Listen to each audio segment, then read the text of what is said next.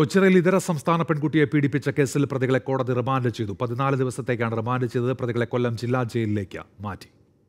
കരുനാഗപ്പള്ളി താലൂക്ക് ആശുപത്രിയിൽ നടത്തിയ വൈദ്യപരിശോധനയിലാണ് പെൺകുട്ടിക്ക് നേരെ പീഡനം നടന്നതായി സ്ഥിരീകരിച്ചത്.